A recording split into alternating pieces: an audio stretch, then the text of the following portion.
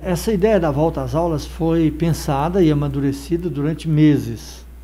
Nós trabalhamos na perspectiva de uma volta às aulas e, para isso, fomos simulando várias possibilidades. E a possibilidade que nós encontramos maior facilidade foi no sistema híbrido. O que quer dizer isso? O ensino híbrido ele compõe de presencial e semipresencial.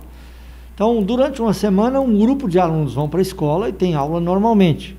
Na outra semana, aquele, aqueles alunos ficam em casa fazendo trabalhos numas apostilas, que a gente chama de PET, e esses alunos, os outros, ficam na escola com aula presencial. E assim sucessivamente. Nós vamos é, fazendo um sistema de rodízio. Professor, vai ser obrigatório os pais mandarem os alunos para a escola ou eles vão ter a opção de, de continuar com os estudos somente em casa também?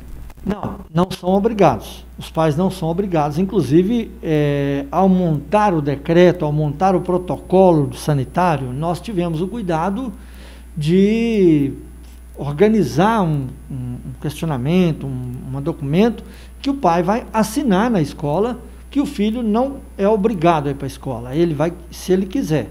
Se ele não for para a escola, há tanto a rede municipal, é, e a particular, e eu acredito que a estadual também deve adotar, é, a, a, escola é obrigada a encaminhar o PET, que é a apostila, que foi montada no sistema home office do ano passado, para ele fazer em casa, e depois os pais levarem para serem corrigidos.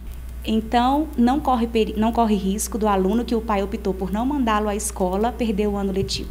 De jeito nenhum. É opcional. Ele pode ou não mandar para a escola. Aí vai da consciência do pai. Nós estamos tomando todos os cuidados possíveis de distanciamento, de, de higiene, né, com as mãos, com máscara e tudo isso, mas o aluno vai ter o material para trabalhar em casa. É, com relação é, a essa questão da, da, da, da, volta às aulas, nós vamos pre, é, precisar de contratar professores. É, deve ser do conhecimento de todos que existe uma medida judicial que impede professores com comorbidade, com mais de 60 anos, de trabalharem presencialmente. Eles estão autorizados a trabalhar em casa, no home office. Para isso, nós adotamos algumas medidas. Nós vamos contratar professores com base no concurso público 001/2014 e abrimos hoje, dia 27, um, um processo seletivo.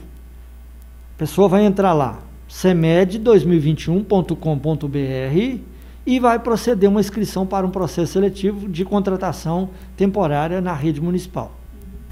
Professor Geraldo, como é que vai funcionar na classe de alfabetização, né? É, vai funcionar também esse período, esse sistema híbrido, porque é mais difícil, né, para as crianças pequenininhas manter o isolamento social. Olha, todo o protocolo, tudo que foi discutido, foi discutido com a administração, com técnicos e com o comitê de contingenciamento da pandemia. Então tem composto por médicos, por enfermeiros, por técnicos.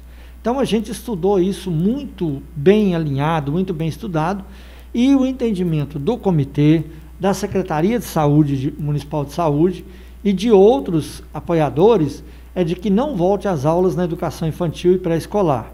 Nesse primeiro momento, a gente vai trabalhar é, com eles à distância, o pré-escolar. As creches não têm volta. Depois de 20 ou 30 dias, nós vamos fazer uma avaliação. Vai ser feita uma avaliação com um comitê independente, vai avaliar se houve ou não algum tipo de contaminação, se põe, põe ou não em risco, para depois a gente voltar gradativamente, porque a alfabetização é mais complexa à distância. Então, esse sistema começa a funcionar agora para o ensino médio? Não, ele vai do primeiro ano ao nono ano. E está autorizado para as escolas particulares, por exemplo, ir para o ensino médio. E as faculdades, as escolas técnicas, enfim. Até a rede estadual. Se quiser voltar, ela tem autorização, o decreto é, autoriza isso. Me parece que a rede estadual adotou o sistema é, teletrabalho, ou seja, a distância, com previsão de início em março. Mas nós antecipamos considerando uma série de fatores que precisam ser vistos, como a questão social, é, a questão acadêmica dos alunos que estão com prejuízo na defasagem muito grande. Nós avaliamos as questões econômicas, que pesa muito a paralisação das aulas. Nós avaliamos a questão didático-pedagógica da criança é, pais que muitas vezes precisam trabalhar e não tem com quem deixar as crianças. Tem todo um escopo toda uma estrutura que foi analisada para essa volta às aulas.